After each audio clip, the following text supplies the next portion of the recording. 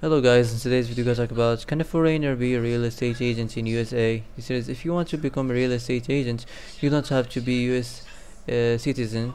You must be a, legal par a legal a permanent uh, resident uh, though and can be tough to establish permanent residency in the United States strictly uh, strictly as a real estate agent. So that's for today. I hope this is the answer you've been looking for and see you in the next video.